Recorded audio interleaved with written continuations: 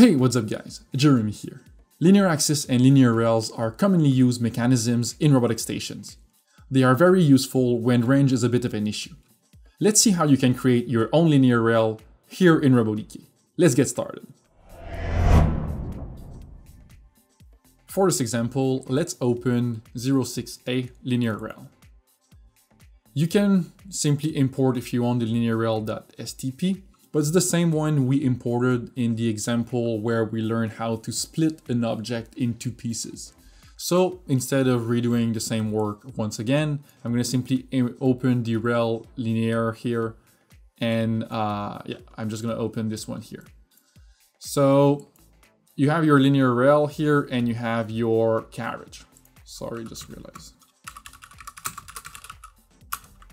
Perfect. And so you have your carriage here on top and you have your linear rail right here. So if we make this one invisible, we have all of our pieces and vice versa. Perfect.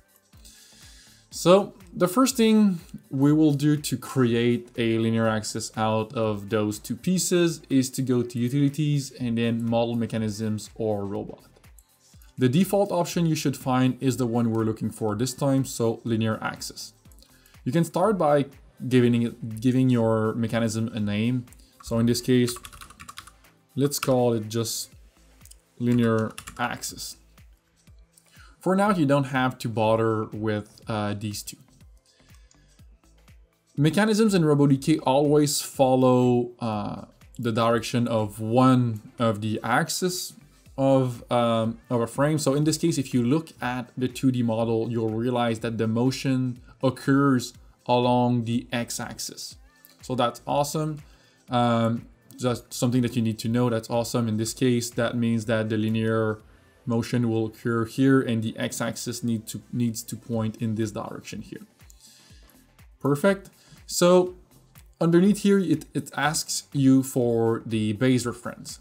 So what you need to do is create a frame base here, FB, that will match with the starting point of um, your robot base or of your mechanism in general and is oriented in a way that the x-axis is pointing towards uh, the motion or yeah, in the same direction as the motion. So let's start by doing so. So I'll go to tool and then measure. My goal here is to measure the center point here. The center point is at 705x uh, and 391 in uh, y. So I'm going to copy that here. You can see here that the axes are a bit wicked in terms of in which direction they, they are. So if I was to kind of reposition myself, I would be like that. I can reposition the rail if I want before getting started, but I don't really need to uh, if I want. I can be a bit lazy and just uh, roll with it like this. So I'm going to copy this value here. I'm going to create a new frame. I'm going to open it by double clicking on it and I'm going to paste it here. So now the frame is there. I'm going to simply rotate it so that it matches with the orientation I saw here. So if you look at it here, let's call this one here frame base so that it matches the naming we have here or FB.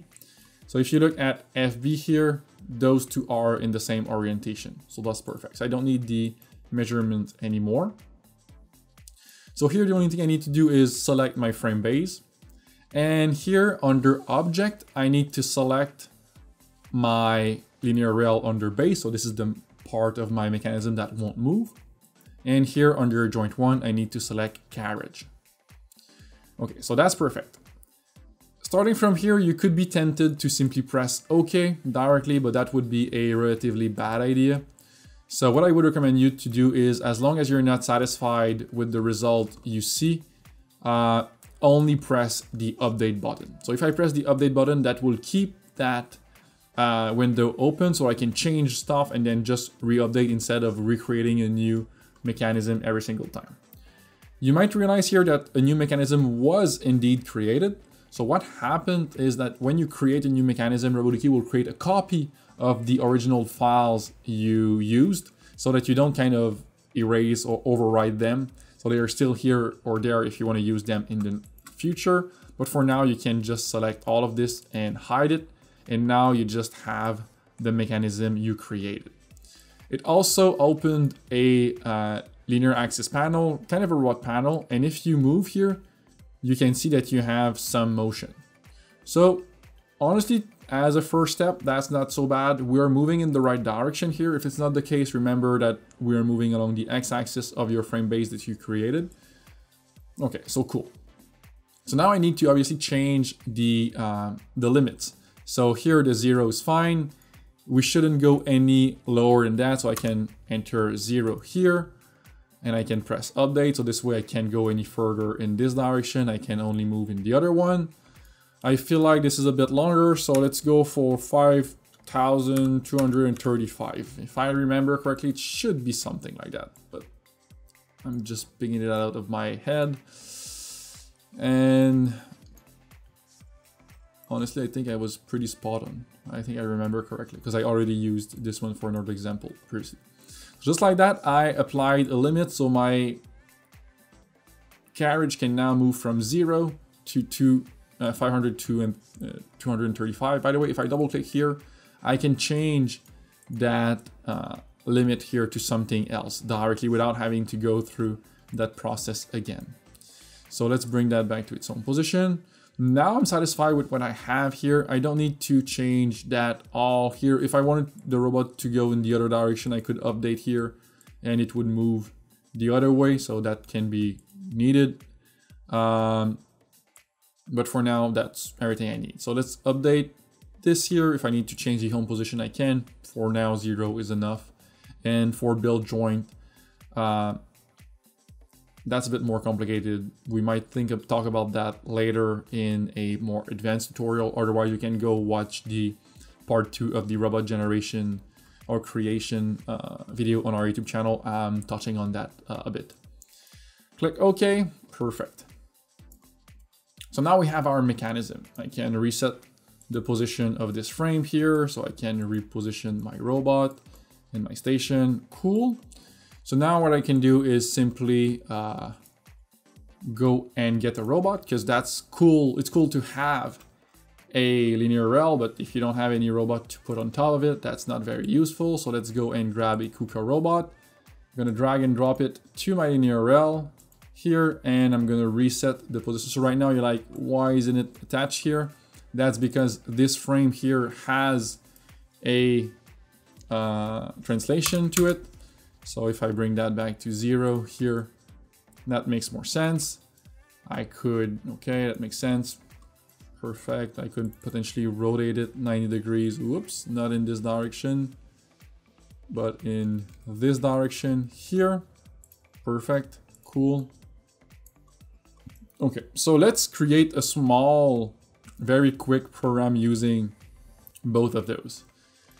So if you remember correctly from the conveyor slash, uh, what's conveyor? Yeah, conveyor and uh, gripper. In fact, we did, no, we just did conveyor, sorry. The conveyor uh, program that we did, we need to create targets and programs that are attached to this mechanism. Otherwise, by default, RoboDK will create programs that are directly connected to the robot because it's more, it's more likely.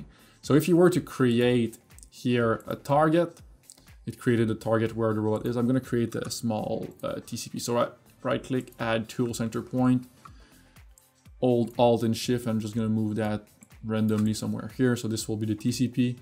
Let's create a first target here that is part of the robot base. If I do so, if I move the robot here to the side, I can click and go to that target.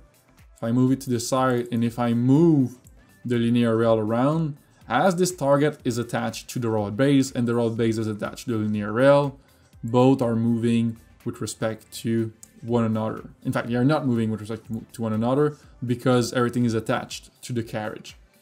On the other hand, if I was to create a target here under linear axis base, so the target was created here, if I move the rail around, this target stays where it is because it's not attached to the rail.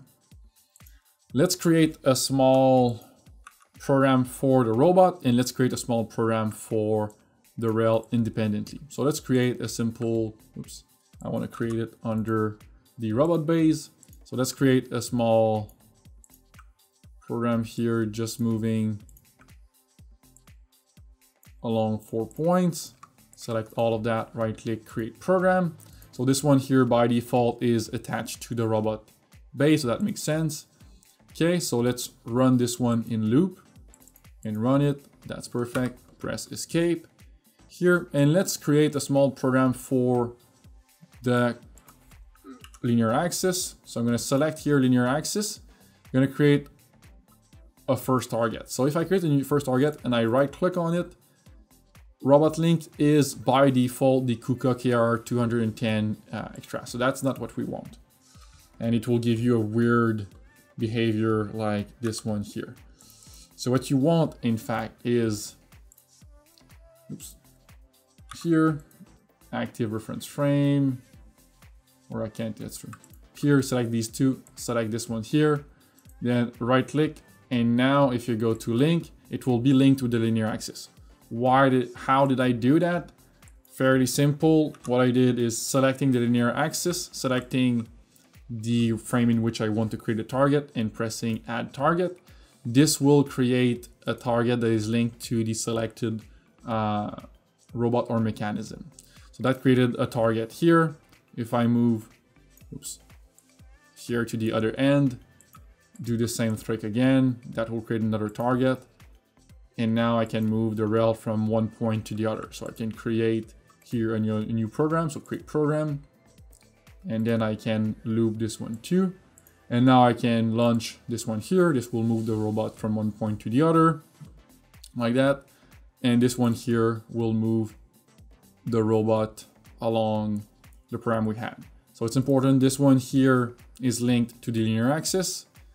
This one here is linked to the robot. You can decide to merge those together. So to do what we call a synchronization. I don't want to go into the details of it because it will be the subject of another future video. I'm going to delete all the targets I created here. If I bring this to home and if I bring the robot to its home position, and if I go right click the robot, I can select synchronize external axis. And by doing so, I can select here the linear axis and clicking OK. The robot panel will appear again. And as you can see here, you have the six joints and you also have a seventh joint, which is the external axis. So now everything is kind of linked together in one bundle of seven axis instead of being one one axis mechanism and then six axis. It's now seven axis all together. So now if I create targets like that, oops, here, so this one should have been under this one. And let's move this one here.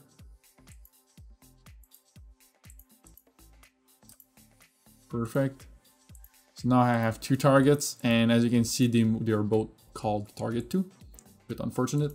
But here, as you can see, they move the robot and the linear rail uh, synchronously.